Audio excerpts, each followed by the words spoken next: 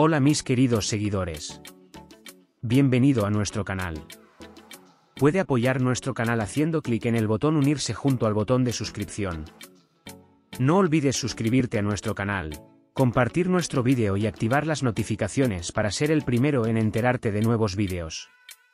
En estos días difíciles que atraviesa Turquía, todos están luchando codo con codo.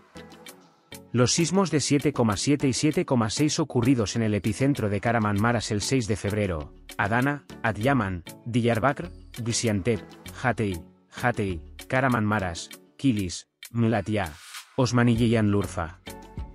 Después de la catástrofe sísmica que azotó a Turquía, los artistas también están haciendo esfuerzos por las víctimas del terremoto.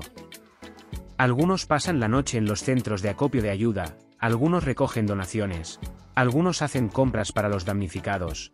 Algunos van a la zona del terremoto y tratan de rescatar a las personas atrapadas bajo los escombros. Famosos artistas se movilizan a favor de las víctimas del terremoto. Algunos trabajan en centros de ayuda y transportan paquetes, otros organizan campañas de socorro, otros participan activamente en labores de rescate en la zona del terremoto. Todos los equipos de la serie están realizando transmisiones en vivo y organizando una campaña de donación para las víctimas del terremoto. Tal vez recuerde que Alil Ibrahim Zeyan, el actor principal de la serie Manet, dio este tipo de paso recientemente. Alil Ibrahim Zeyan organizó esta transmisión en vivo con Omer Yi Siyu, quien protagonizó la serie. El actor, que se mostró bastante tenso durante la transmisión en vivo, hizo numerosas declaraciones sobre muchos temas. La transmisión en vivo de Omer Jeku y Alil Ibrahim es completamente para ellos, a excepción de las donaciones. Se cree que están organizados para responder a las críticas en las redes sociales. Porque durante la transmisión en vivo constantemente decía que nadie cuestione mi sensibilidad en este tema, lo que nos hizo pensar que el actor fue criticado en ese sentido. Más tarde, en nuestra encuesta, se preguntó a ambos jugadores cuánto ayudaban en las redes sociales. Se puede ver que hay muchas críticas y preguntas sobre por qué no compartió el primer día del terremoto.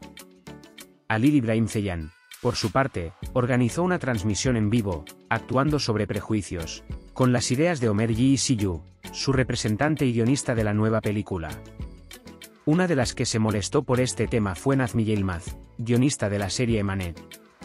Nazmi Yilmaz estaba muy molesta porque Alil Ibrahim Zeyan hubiera organizado individualmente la transmisión en Vivo en nombre de esta donación. El productor que dijo que un show en vivo que todo el equipo de la serie Manet organizará en conjunto hará más ruido, acusó a Lil Ibrahim Zeyan de comportamiento irresponsable. Según las denuncias, Alil Ibrahim Zeyan, muy molesto por estas palabras, reaccionó ante Nazmi Yilmaz. Al afirmar que rescindiría su contrato si fuera necesario, el actor se opuso a Nazmi Yilmaz.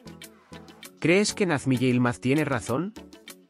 Creemos que Alil Ibrahim Zeyan estaría mejor atendido por un espectáculo de equipo. Puede compartir sus valiosas opiniones con nosotros en la sección de comentarios. No olvides suscribirte y activar las notificaciones para ver más vídeos. Nos vemos en otros vídeos. Cuídate. Adiós.